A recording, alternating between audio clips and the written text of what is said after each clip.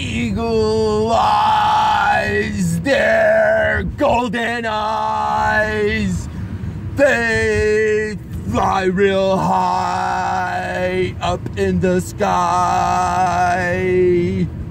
They will eat whatever they see move down below because their eyesight is like no other animal that's been introduced to the wild or any other for that matter.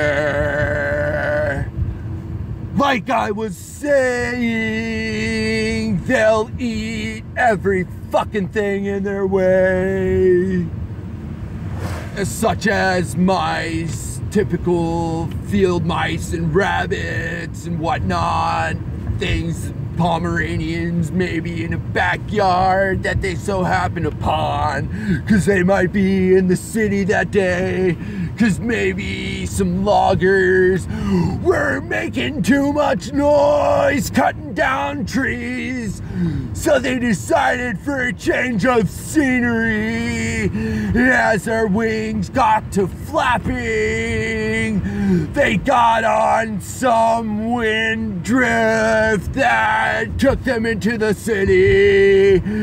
And they just spent a little too much time there and got hungry and decided to sit up in a tree look down below and happened to see Pomeranian in the backyard yelping at the neighbor's cat that he'll never be able to get because he's not big enough for it anyway. And he knows that, and the cat knows that too, and the cat knows that this happens to be one of like only five dog breeds that won't attack it on a given notice. It's just yelping at its mouth as the eagle, with its amazing eyesight, looks down at the Pomeranian and decides to leave the tree to go get it.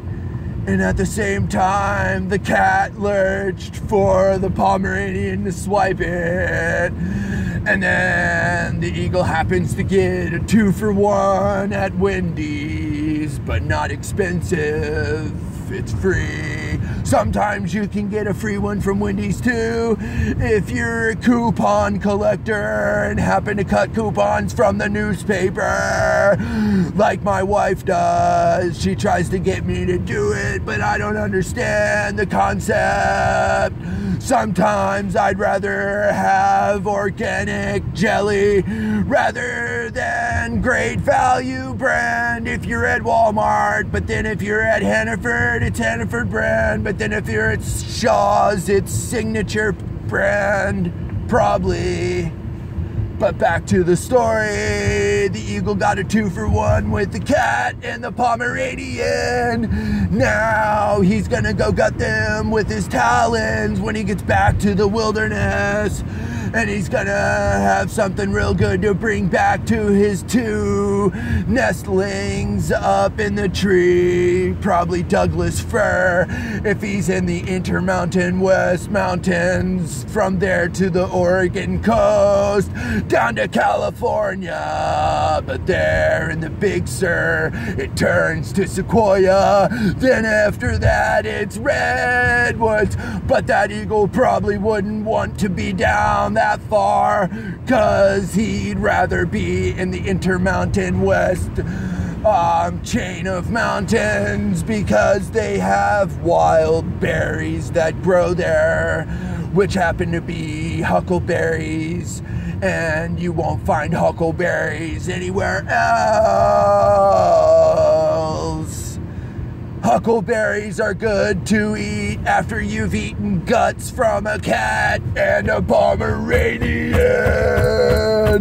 If you wash them down with river water, which happens to be the Yellowstone River, because, like I mentioned before, it was Intermountain West chain of mountains that this eagle came from. So I choose that he's in Montana, which is about to be sold to Canada.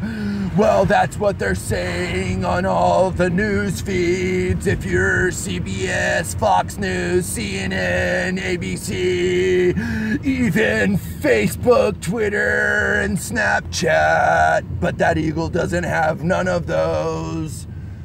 So, back to what I was saying. His nestlings are gonna eat real good tonight. Probably. But that's my golden eagle song.